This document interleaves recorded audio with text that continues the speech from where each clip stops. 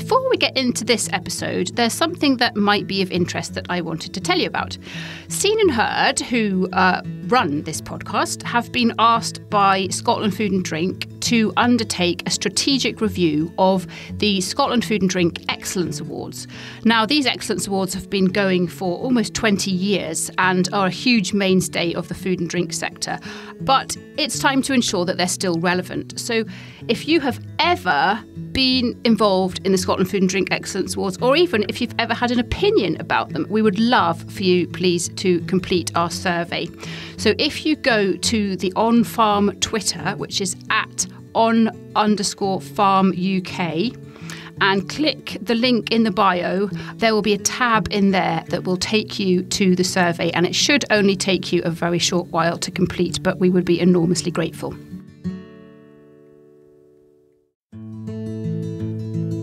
This is somewhat of a novelty. We're on episode 14, which is the final episode of our series in association with the Royal Highland and Agricultural Society of Scotland. And it is the first one where we've done any significant face-to-face uh, chatting. So it's it's nice actually. We're obeying all of the relevant and current rules, but it's really nice to actually be able to look into people's eyes and have a proper conversation. So I'm joined once again by Alan Laidlaw, the Chief Executive of RHASS, and by Bill Gray, the Chairman. Gentlemen, 14 weeks has passed since we first had our discussions for the very first episode in this series, and at that point, obviously, cancellation of the Highland Show was extremely recent and feelings were, were raw. Bill, I'll perhaps come to you first. Um, what's happened over those 14 weeks, first of all, in terms of the, your feelings and how they've kind of evolved and developed?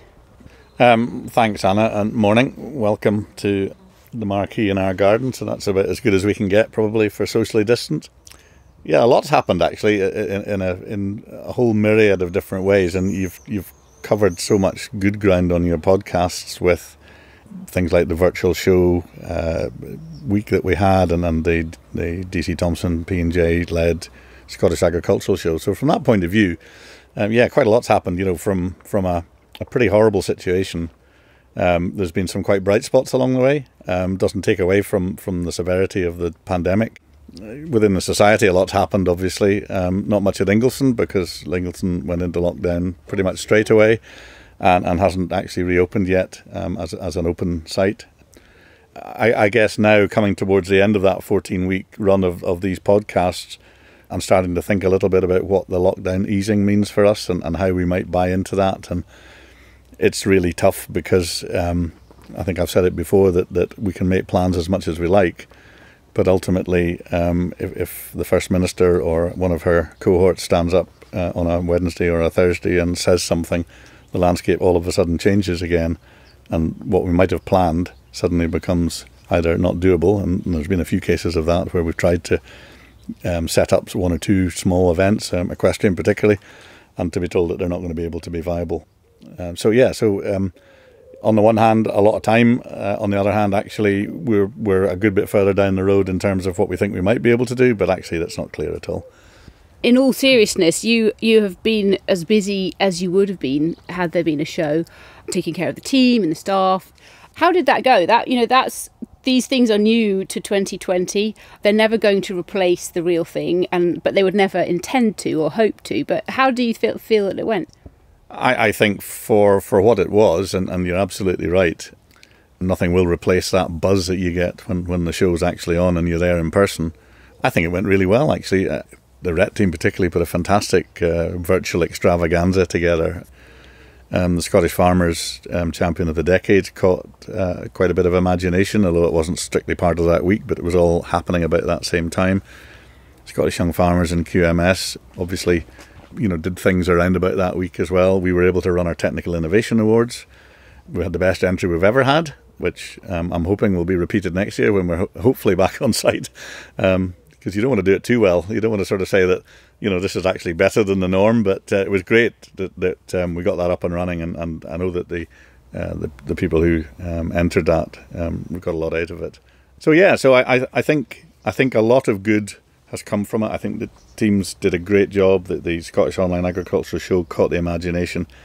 But I think the biggest thing from our point of view, and certainly from me personally, was the fact that the love of the show just erupted. I think during that week.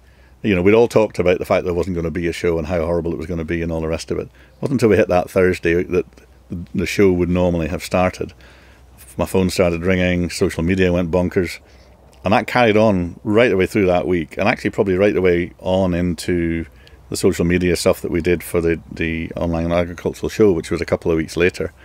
And that hasn't stopped. And, and that's hugely heartening and humbling, really, for us, I think, just to realise, you know, what the show means to people, and more importantly, what the lack of the show means to people and, and the effect that that's had.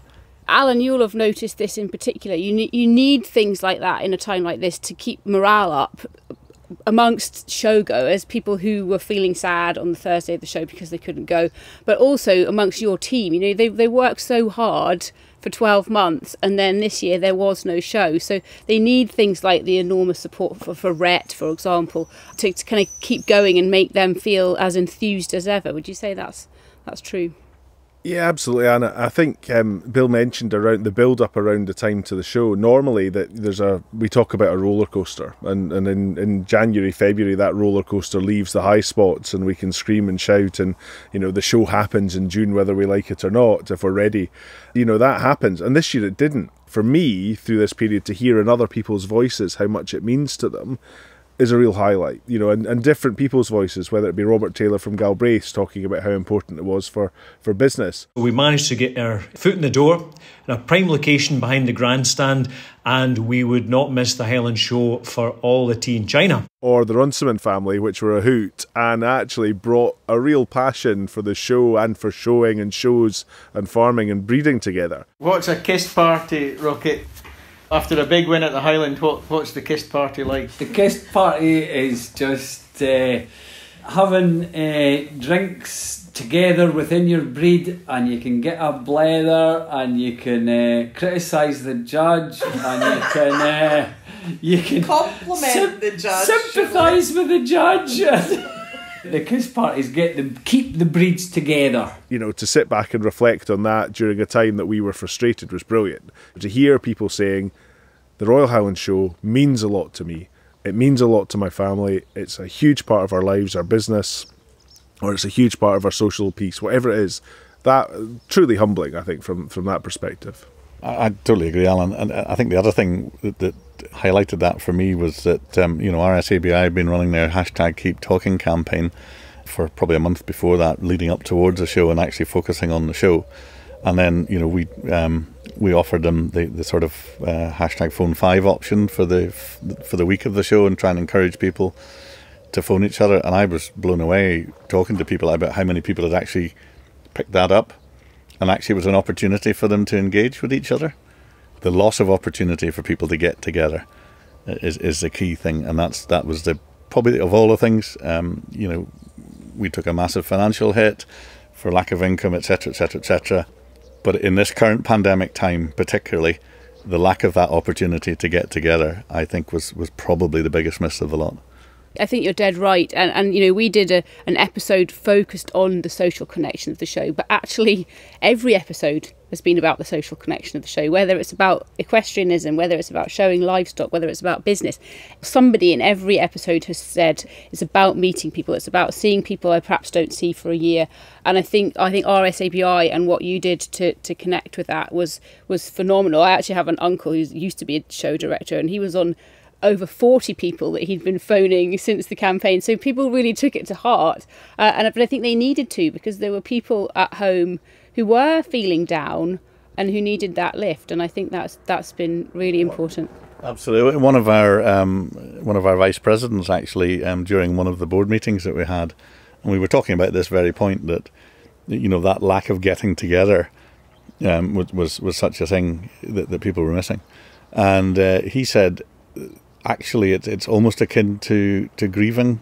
And he said, you know, it's very difficult to make that sound sort of not severe because you know obviously grief is is a, is a hugely uh, big emotion, but but actually there was an element of that that that people were just at a loss because the show wasn't there. And I think, Bill, you're absolutely right there. From a membership perspective, people people can take things for granted. You've been a life member for the society for 40 years. You've been to the show. You know, you've only missed one or whatever. And it's only when it's not there And it's only when regional shows are not there and the opportunity to catch up informally that you start looking around saying, hey, that that third week in June is really important to me, to myself, to the family, to the business. And I miss it. And that means a lot to me. And I think, you know, we know how important the show is to people when we hear it anecdotally, but to hear that regularly and so regularly as we have done over the last couple of weeks in particular really reminds us why we do what we do, why the society was founded, why it's important that we support rural Scotland in every way that we can, whether that's a Nuffield Scholar or you know the showing of livestock or the Technical Innovation Awards.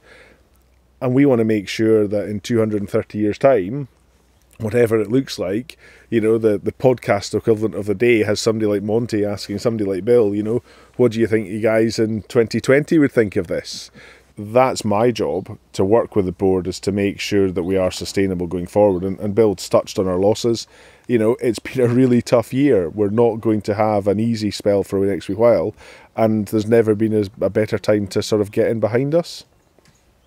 So, to put it bluntly, Alan, um, if somebody's listening, and what what can they do to, to support the society. You know, they'll, they'll hopefully they'll come along to the show next year, and we'll talk about what the show might look like in 2021. But what what can they actually do right now to, to contribute and to make sure that the Highland Society remains as, as strong as ever? It's a really good question, and I think we're working on a fundraising campaign. In the past, the society has uh, managed its own resources through different means, and and we've tended to fundraise to to buy cattle stalls for the, the new Highland Hall in the early 2000s or for fundraising for the new members building. We're going to have to become a more regular fundraising organisation for the next few while, and, and we can't be bashful about that. We've got a lot of debt now that we would rather not have in, in terms of what's happened in COVID, and we would want to be able to fundraise to allow us to continue those activities, to allow us to support RSABI, to allow us to support young farmers and Nuffield scholars, and, and to really put money back into RHET and to develop there.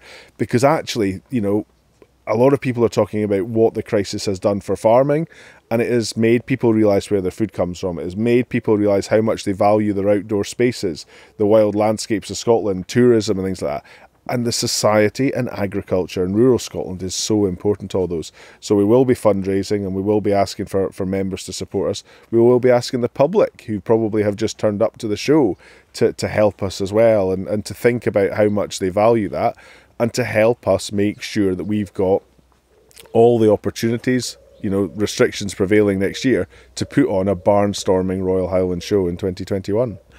I think we've been trying to highlight as much as we can that it's not just about the four days of the show. We are a large charity. Um, we're, we're, we have a charter which requires us to carry out charitable work. Any charity will fundraise. My last soundbite, I think, on the end of my last podcast was, as somebody said once, you know, if you had more to give, would you give more? Well, the answer obviously is yes.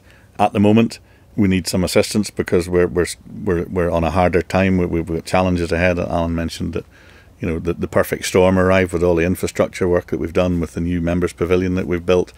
We had a program of, of seeing how that would pan out over the next wee while and, and, and return us to surplus. And then the pandemic comes along, and, and all of a sudden, um, the perfect storm arrives, and, and we're, we're left in a difficult situation at the moment from my perspective, Anna, it's it's about us being honest around that. So lots of people are interested in the reporting of the annual results and, and things, and you know we are going to make a substantial loss this year. And as Bill said, with more we can do more. That is about people thinking about if they can uh, can help and, and, and donate or support or sponsor or because ultimately that feeling of loss around the show. We don't want there to be any risk on future shows. We want, as long as COVID is allowing us to do what we want to do, we want to, to do as much as we possibly can. But next year, there might be some restrictions in place that means it's more difficult to do or there's more costs involved in the Royal Highland Show. We're just being honest about that, that with more financial resources, the Society can recover faster, do more, and have a, a greater impact for, for all of our members in rural Scotland. And I think there's an opportunity at the back of COVID, once we're, we're past the, the worst, for rural Scotland to bounce really forward from this and to recover. But to do that, it has to have good organisations. And RHASS is one of those organisations that quietly helps other organisations, whether financially, with networks, with facilities at Ingliston, with the Royal Highland Show as an opportunity for them to, to come together, or a place for AgriScot to happen. And all these things need to be supported as a as a web. We all work together and we all do that quietly. And, and I think now's the time for RHASS to be reasonably bold about say, you know, we have an impact on lots of different organisations in Scotland, and we want to continue that impact to be as high as possible. And that's just got me thinking actually because in last week's episode, we heard from Lorraine, who is one of the staff members at RSABI. Obviously, she was she was reminding everybody that that helpline is part funded by RHASS, which some people maybe don't know uh, or didn't know until now. And she was also saying that the calls that they put out, so they will phone people who are perhaps feeling lonely or just in need of a chat or somebody just to, to give them a call each day and make sure they're up and about and, and getting on with the day to day business. And those calls that they're putting out have doubled since COVID. I'd say a lot of the calls have been emotional though. People have suffered bereavement during COVID, you know, and they can't really see their family and attend funerals. Or with lockdown, there's been a lot of family issues, so we have um, mediation that we offer and, you know, encourage families to sit down and chat. Yeah, it's been a tough time for everybody. That's just one example of, of an organisation that, that RHASS helps and, and that we would all be lost without. Yeah, I, I, I think that's that's exactly right.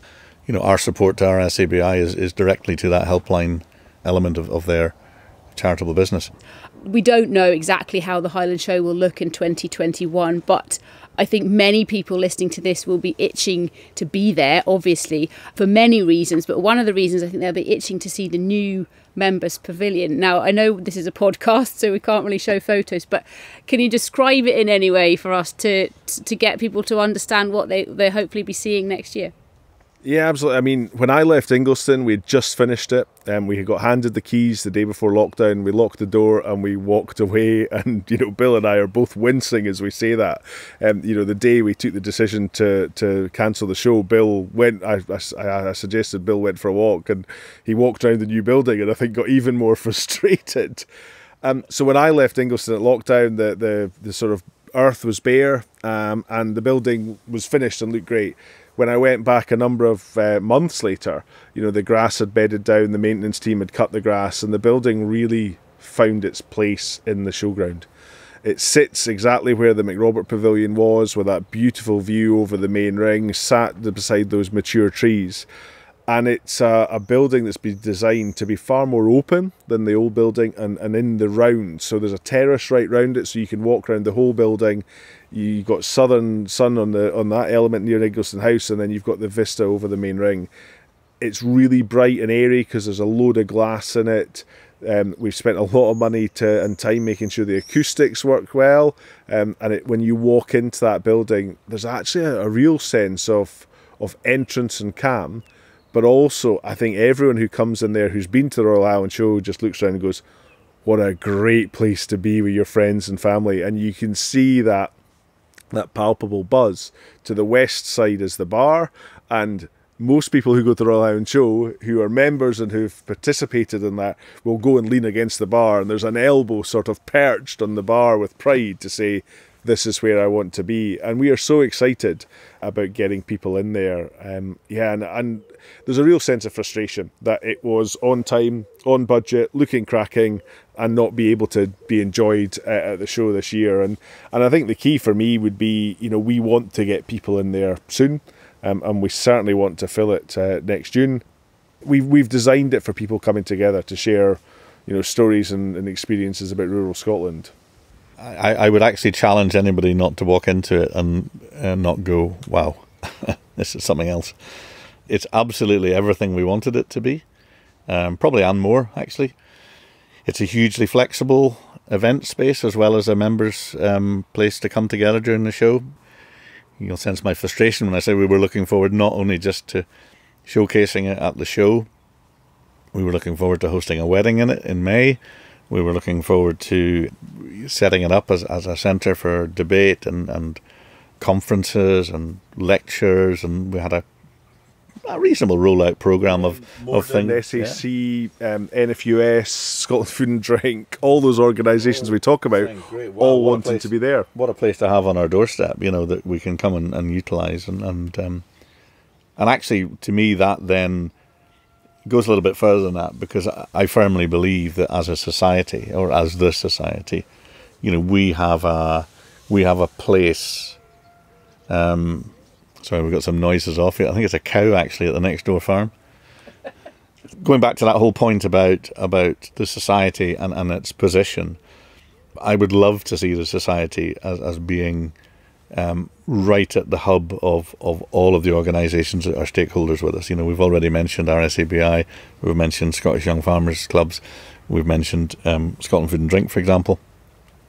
You know, it would be fantastic if out of all of this, a real desire for everybody to realise that, that being being with a common purpose, and you know, we don't all have to have exactly the same purpose, but that whole common purpose of making sure that what happens in rural Scotland and in agriculture in rural Scotland um, continues to move forward and, and, continues to add value. Yeah, I think that coming together for people, and a number of people have said, you know, be careful the first show out the box when uh, when lockdown releases because it's going to be an absolute belter. We certainly hope it will be. We're absolutely focused on that at the moment as, as being um, our our primary focus. The, the events opportunities towards the end of the year are diminishing every time we have a pushback on phase three or four or whatever. But yeah, so the focus is very much on, on 2021 show and, and beyond. It's very easy to focus on, on something near, but from the society's point of view and from the show point of view, and that support that we need, you know, we've got to look further ahead. 2022 is the 200th anniversary of that first show um, uh, back in Queensberry House Gardens in 1822. We still are planning to hold the um, the Golden Shears World Shearing Championships that year as well. So if there's ever going to be a big show, that that's the one. And let let's hope that 2021 gives us that springboard to, to leap forward and, and, and continue the, the great work that the society does and that bringing together of everybody. Absolutely. And and meantime, so, Alan, I, I, know there are many uncertains, but as you say, you're you're I forget the word you used, but you're certainly forging ahead uh, with vigor towards 2021. It can't be easy. There must be frustrations. Um, but can you maybe give us a bit more detail on on what you're kind of currently talking about? Yeah, so I mean, there are a lot of scenarios out there. Scottish Government and Scottish Enterprise have done some scenario planning, and we've spent a lot of time as a team, whether it be the staff team uh, or the board, looking at those. What can that help with? What can it challenge? What what does it make more difficult? Bill's been really clear that we are absolutely committed to delivering a Royal Highland show within the guidelines, within whatever restrictions happen. There's some people that are chatting there to say the Royal Highland show will not happen because the society aren't going to invest in it absolute nonsense. We will continue to do everything in our power, everything with the support of the members, to put on the Royal Highland Show next year, the year after, and for many years after that. Um, we'll be looking at whether there's uh, restrictions on, on tickets to be only one day rather than any day, so we can track and trace. We'll move more digital. Um, we might have some isolation areas and some uh, some checking. We're engaging with Events Scotland and the whole events industry to check about how you make events as safe as possible um, right the way through. Um, we're looking at different options for segregation of certain areas of the show. You know, ultimately, not everybody wants to spend time, you know, in certain parts of the show. Some people love going to the question area, but don't like going to the livestock area. So we'll work on all of those you talked about the frustration. The frustration is we just don't know, and we we need to spend time usefully making sure that those plans are robust. So, um, we, you know, we might have to delay um, some announcements because actually we don't know the format of the competitions because there'll still be restrictions.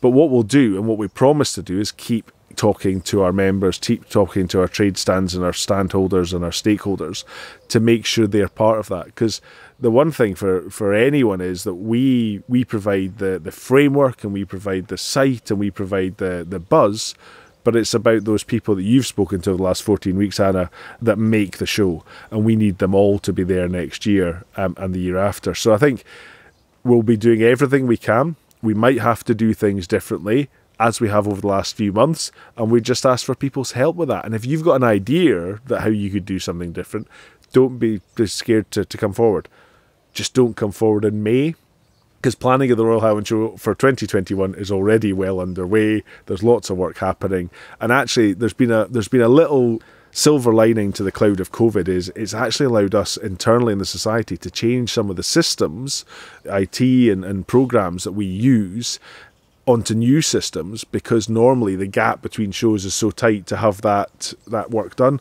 And so there are benefits that will come you know we're moving more online than we've been in the past. And that's hopefully a signal for everyone that we are absolutely serious committed and, and heartfelt um, intent on delivering next year's Royal Highland Show just to, to pick up on that, I think the, the frustration we've got at the moment is the uncertainty. Nobody likes uncertainty. Um, we, as, as agricultural people, are, are used to it, I guess, because I was likening it to sending grain away without knowing what you're going to get paid for it. So, you know, we're, we're used to that in some respects, but it doesn't help to solve the frustration or, or ease the frustration that that, that that brings. The uncertainty means that we're going to have to spend a lot of time and money to see what format and what shape it might take. Uh, um, but within the guidelines, and because we don't know what the guidelines are likely to be, you, you can see the dilemma that we're in. Um, uh, but you know, we will move heaven and earth to do something. There is no doubt about that. And, and from the society's point of view, I think the other thing perhaps to mention um, is is that in all of these crisis situations, the pandemic crisis, for example, that we're in at the moment, and there have been, you know, the 2008 financial crash and, and um, you know, affected a lot of businesses, a lot of people. That's going to affect us. But what it's actually made us do is look at ourselves quite closely and quite sharply and put into focus what we can do better.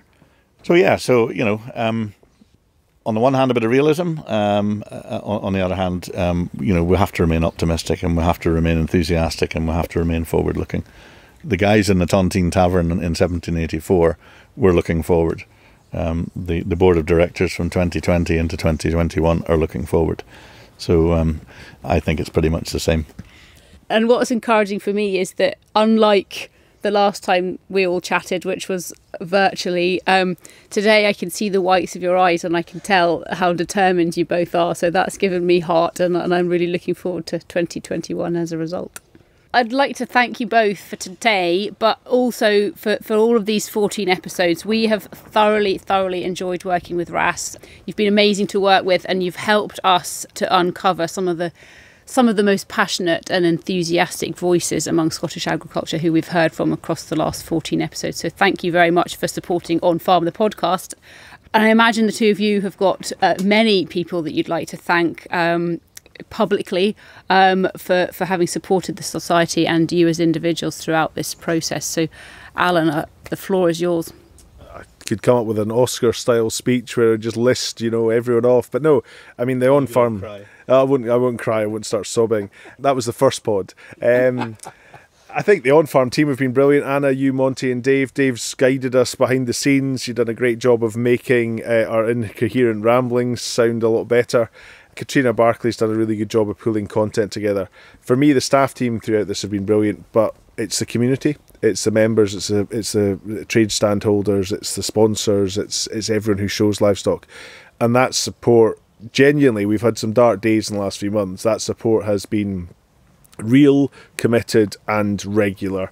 Uh, and for that, I'm hugely grateful. And uh, hopefully, we can re- repay that to all of them. So, yeah, we've we've had a good spell, and, and you know, keep getting involved. I, I you know, I've since day one in the society. It is a membership organisation, and I, you know, the the most buzz I get is out of people coming up with ideas. So, thank you for those who do, and and please thank you in advance for those who will come up with new ideas for us. I would just like to, to totally reiterate um, Alan's Alan's comments there. Um, you know, we, we've we've been humbled and heartened by all the messages of support that we've had. First and foremost from our membership, um, no question. You know, um, we're true to our roots as a membership organisation. Without those members, you know, we would not be the organisation that we are at the moment. Um, there's no question about that.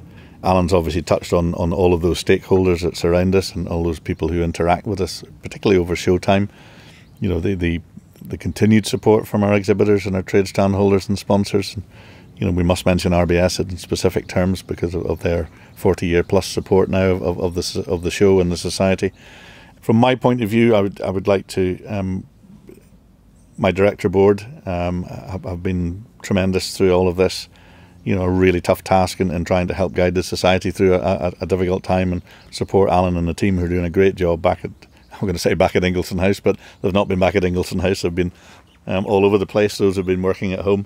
Um, I'd like to thank you, uh, you guys, um, because um, I was not a podcast listener before this all started, and I guess what it's done, it's it's actually opened up another avenue for people to understand what we do.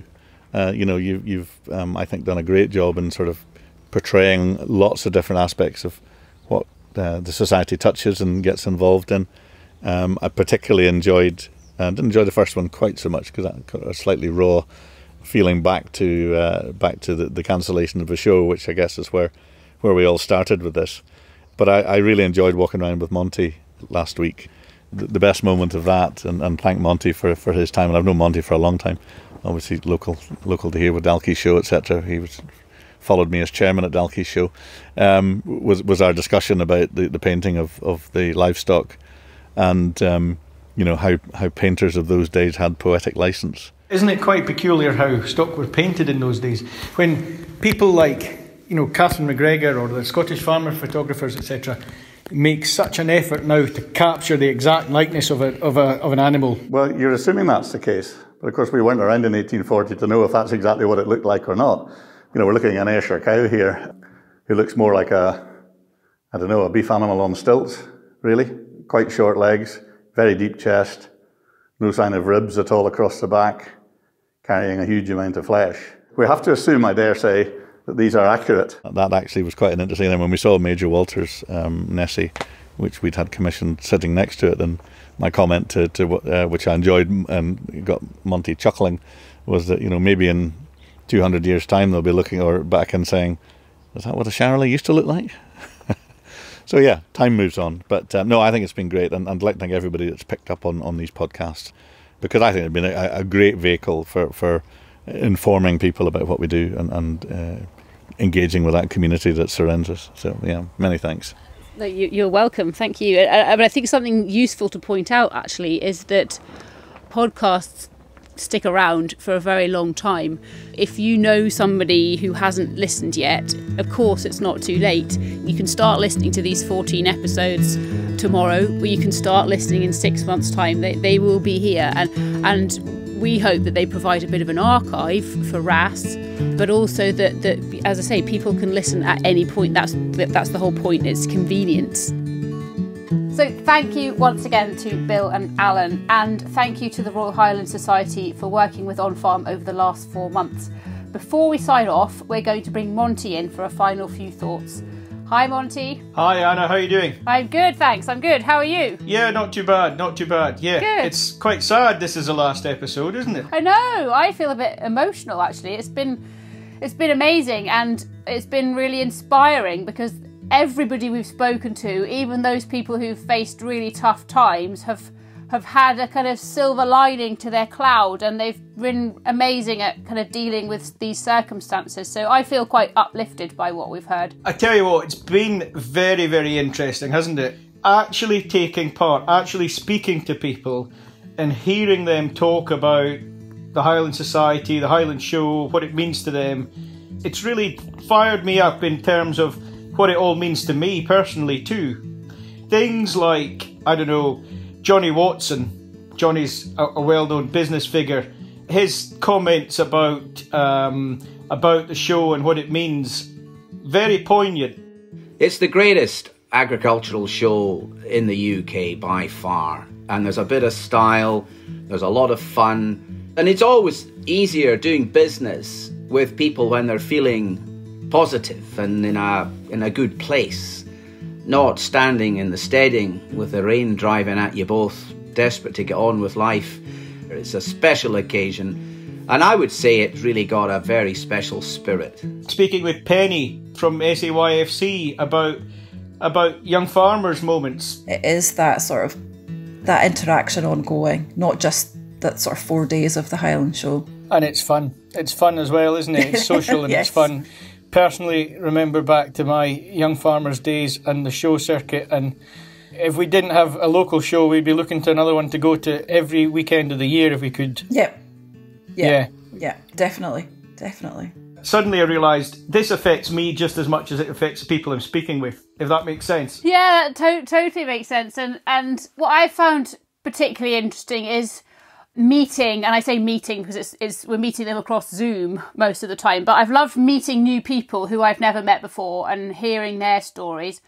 But actually, just as moving has been hearing the people who I already know talk. So, for example, the farrier who we had in the equestrian episode, he is my farrier. So I've known him for years. Once I started to probe him and get all of the information out about everything that he does, I discovered I didn't know all this information before. It's also been really amazing to see the Scottish Farriery team develop. The Highland Show offered us the Forge as a sort of permanent home for the Scottish Farriery. So yeah, we have a, a great depth of horseshoeing skills in Scotland. And like I say, the Highland Show is definitely a, an integral part of that. Again, when you actually start to, to hear in detail about what they do and why they do it and why they're passionate about what they do, it's it's particularly moving, I think. Particularly in my mind, going to speak with uh, the Runciman family at Allanshaws was, was fantastic fun. The first year I won the the the, the Cheviots at the Highland Show, which was in 2009, there were one of the, the sheep stewards came up to me and said that uh, the Queen would like to meet you. I honestly thought he was pulling my leg to start with, but lo and behold, he wasn't, which is a big honour, a big honour to to shake hands and meet her like, and she's uh, she was very nice to speak to and very easy to speak to, and uh, she knew her stuff. And was she as honoured to meet you? yes. these are these are people who, yeah, you, you've known a long time, but it's it's just it's lovely to, to, to have the, the sort of chat that we did with them.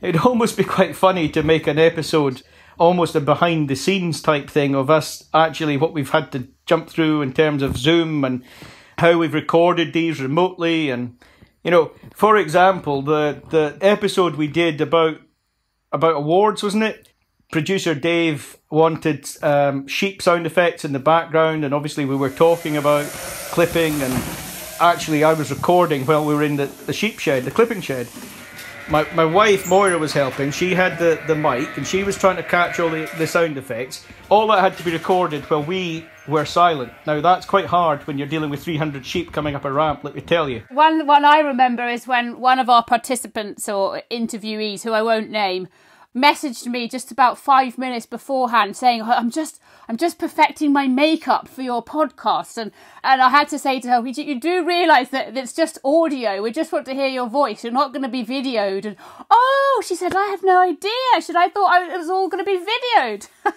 So i think she was relieved when she discovered the truth. But uh, we've had yeah we've had a fair few funny moments Ever since I started my career in the agricultural industry, I've always thought that Scotland's stories need to be told. And and then I became aware of podcasting and became a, a bit of a, a fan and, and, listened to many. And, and I just had this thought that actually this is exactly what Scotland needs. Scotland needs its rural stories to be told in a new way to reach new people, but also to allow you know people to to have options in terms of how they, they listen and learn more about what goes on in the countryside. So that's kind of where the idea for On Farm came from. And we've realised our ambitions and we've been going since January. It's been amazing fun. We've told umpteen rural stories. Uh, we're all about positivity but realism at the same time. And I want us to still be here in 10, 15, 20 years' time when podcasting is totally mainstream what will happen is that more and more people will join the podcasting movement. And I can't wait because I think it's a fabulous way to get these amazing uh, stories out there for people to listen to. I would just add to that that what we've set out to do, and I hope what listeners think we've achieved, is be really, really professional in this.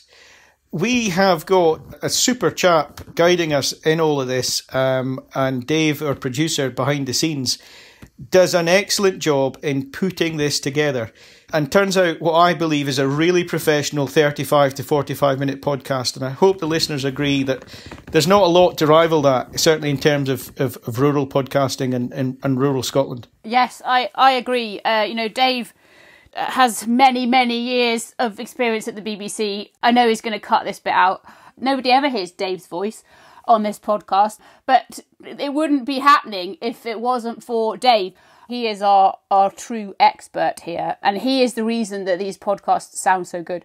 We chose to go down the professional route because I think people deserve to have that when they're listening to these amazing stories, and, and I think it's it's it's paid off. And thanks to the, the way it's been done, and thanks to the contributions from the Royal Highland Society and everybody else who's taken part in our podcasts, you know, up to now, they have enabled us to gain what's actually quite a powerful position because we're in the weekly routine for hundreds of farmers. They listen to our podcast, they've got it on auto download, and it's there every Monday morning for them to listen to. We've got a direct line straight to these people. So I guess anybody who's listening who has a business or a brand that they think would benefit from sponsoring on farm or working in association with us, like RHASS have done, please get in touch. You know, we've we've got the ability now to share your messages, and and effectively we're a direct line to, straight to the hundreds of farmers and rural people, other rural people who've been listening to On Farm over since January when we we started. Yeah, there's there's an opportunity here for anyone who would like to work with us to make a podcast and tell their story a podcast gives you 35 minutes of of depth of content and i think that's so valuable so if there's a a project story that needs to be told, or a family story that needs to be told, or a product that needs to be described. Podcasting can do that in a way that, that other mediums just simply can't. So I think that's what it's about. It's about telling proper stories in an easily digestible way that everybody can understand and enjoy. So if we can carry on doing that, and as Monty said, we will need partnerships, you know, to enable us to do that. Um, but if we can carry on doing that, I'll certainly be happy we can reach the audiences. You would benefit from having your brand associated with On Farm. If you are an organisation who wants to reach a rural audience, if you're an organisation, a company, or someone with a story to tell, if you want to get in touch about how you might be involved, please do.